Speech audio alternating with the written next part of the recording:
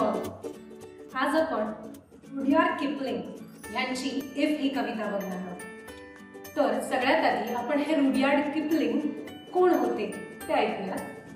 तर Rudyard Kipling हे इंग्रजी साहित्यातले खूप नावाजलेले लेखक आहेत.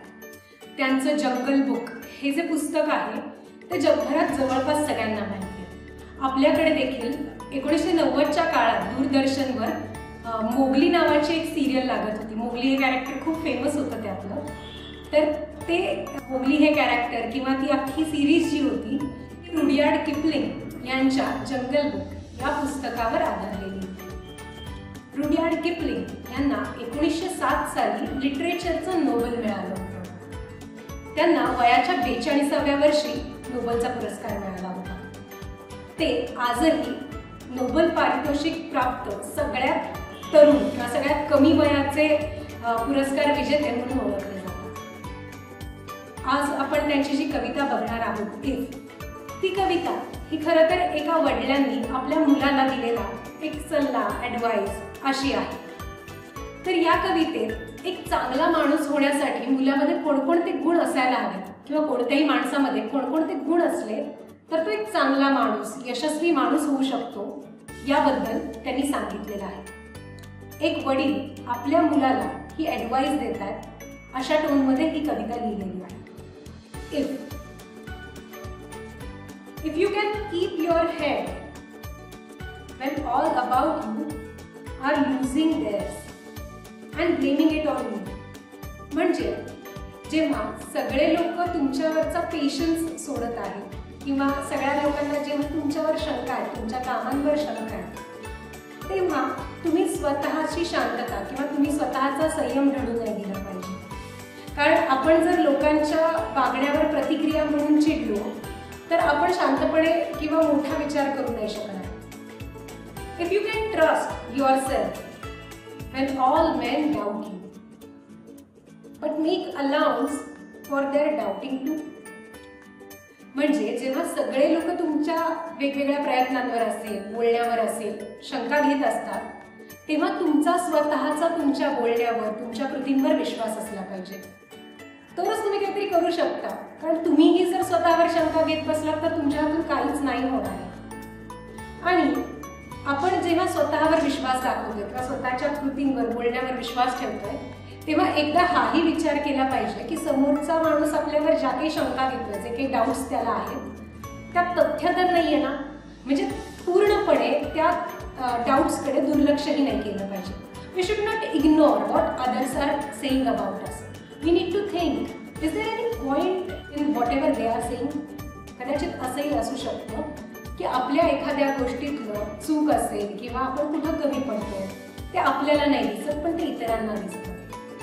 सो आपण स्वतःवर विश्वास ठेवण्याच्या नादात समोरच्याकडे पूर्ण दुर्लक्ष करून मी शहाण आहे असं म्हणून निघून जाणं तेही चुकीचं आहे. दुसरे काय म्हणताय त्यात काही तथ्य आहे का? हेही तपासून बघितलं पाहिजे. म्हणजे आपल्याला कळू शकेल की त्यांच्या म्हणण्यात जर तथ्य असेल तर आपण तशी सुधारणा करू आणि आणखीन चांगला माणूस होण्याचा प्रयत्न करू? सो स्वतःवर विश्वास असणं गरजेचं आहेच. पण इतर लोक काय म्हणतात त्यानुसार सुधारणा करणं देखील महत्त्वाचं आहे असं लेखक या कवितेत आपल्या मुलाला उद्देशून सांगतात if you can wait and not be tired by waiting म्हणजे तुम्ही वाट पाहू शकत असाल. कोणत्याही गोष्टीची असेल यश असेल किंवा एखादी गोष्ट तुमच्यापर्यंत येण्याची किंवा तुम्ही ती मिळवण्याची जर तुम्ही वाट पाहू शकत असाल. आणि ती वाट पाहताना जर तुम्ही दमत नसाल म्हणजे तुमच्यात संयम हा गुण असेल तर or being lied about don't deal in life याचा अर्थ की म्हणजे आपल्याबद्दल कोणतरी इतरांना खोटं सांगू शकतो. पण आपण त्यामध्येच अडकून नाही राहिलं पाहिजे. लोक आपल्याबद्दल खोटं बोलतात म्हणून आपण त्यांच्याबद्दल खोटं बोलणं किंवा आपणच खोटं वागणं हे कोणत्याच गोष्टीचं सोल्युशन नाही असू शकत. Or being hated don't give way to hating त्यांनी तुम्हाला कितीही हेट केलं नाकारलं किंवा त्यांना तुम्ही आवडत नसाल तरी आपण त्यांच्या बाबतीत हेटरेट ठेवू नये. आपण नॉर्मलच राहावं. त्यांना आपण प्रेम किंवा आदरच द्यावा. त्या हेटबद्दल आपण फारसा विचार करू नये आणि हेटचं उत्तर आपण हेटला देऊ नये. And yet don't look too good nor talk too wise तुम्ही बघितलं असेल की तुमचा एखादा मित्र असेल किंवा कोणी असेल हुशार असतो. पण त्या हुशारीचा भलताच गर्व असतो त्याला. म्हणजे उगाच मोठ्यांसारखं बोलणं मोठेपणानं वागणं. स्वतःला किती येतं हे दाखवणं. तर यात कवी असंच सांगतो आपल्या मुलाला की तुला कितीही काही येत असेल तू कितीही महान असशील तरी तू दाखवणं बंद कर. तू महान आहेस हे तू दाखवणं चुकीचं आहे.